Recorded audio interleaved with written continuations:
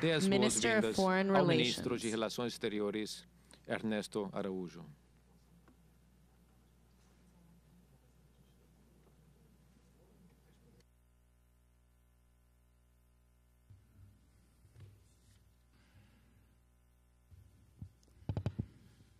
Excelentíssimo senhor presidente da República, Jair Bolsonaro, senhor Tom Donoghue, presidente da U.S. Chamber of Commerce, senhores ministros, autoridades, amigos. Eh, Acharam que tinha ficado livre de mim, né? Porque eu já falei antes, mas eu voltei. É, é, com a honra de fazer a apresentação da, eh, do discurso do presidente eh, Jair Bolsonaro logo mais. Eu queria dizer que o presidente Jair Bolsonaro é o líder mais transformador do Brasil em muito tempo. E a possibilidade de fazer parte desse processo é uma imensa honra para todos os ministros que estamos aqui presentes. É uma honra muito grande para mim que, desde a minha indicação, tive a incumbência de fazer do Ministério das Relações Exteriores, do Itamaraty, e da política externa brasileira parte integrante dessa transformação do Brasil. Rompendo as tradições, rompendo as tradições de acomodação e de irrelevância da nossa política externa.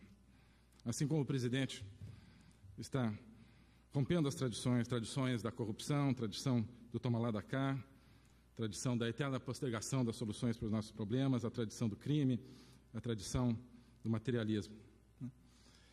O lema do presidente, Brasil acima de tudo e Deus acima de todos, contém em si mesmo um projeto político e uma concepção de mundo.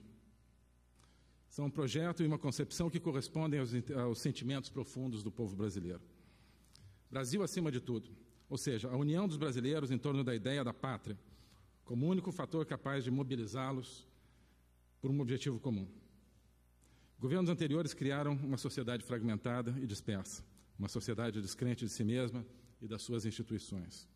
A maneira de superar essa dispersão e essa descrença é colocar como horizonte a pátria, a nação. Não o Estado, mas a nação.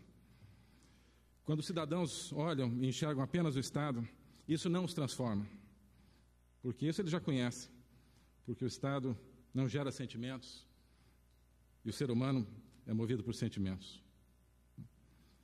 Mas quando eles olham e enxergam a nação, aí sim temos um potencial incrível de criar energia e de unificar. Menos Estado, mais nação. Essa poderia ser uma definição desse potencial mobilizador. E Deus acima de todos. Aqui se introduz uma concepção de uma realidade vertical, onde o ser humano sabe que possui uma dimensão espiritual e que a vida não se esgota nas leis da física. A grande maioria dos brasileiros sente e deseja essa presença da transcendência nas suas vidas, mas o sistema de pensamento dominante lhes negava essa possibilidade de expressar esse sentimento. Ao dizer Deus acima de todos, acima de cada um, essa expressão do presidente permite que os brasileiros voltem a se relacionar com a sua fé no espaço público, no espaço da nação, e isso é determinante para esse projeto político e essa concepção de mundo. Então, com esse lema, com toda a sua presença inspiradora, o senhor, senhor presidente Bolsonaro, está reconfigurando a realidade brasileira de uma maneira pouco antes vista.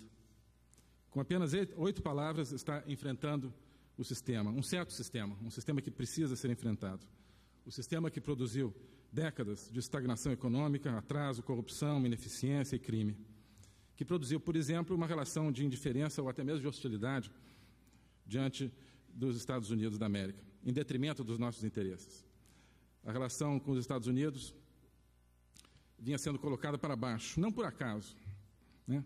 mas porque a relação com uma nação dinâmica e aberta produz liberdade, reforça o Estado de Direito, eh, reforça os valores humanos que nos inspiram, ou seja, tudo aquilo que causa pavor a uma certa ideologia.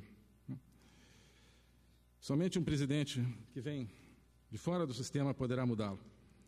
E parte dessa mudança profunda é a criação de uma nova parceria com os Estados Unidos. Então, sem mais delongas, eu tenho a honra de apresentar ao senhor presidente da República, Jair Bolsonaro. Muito obrigado.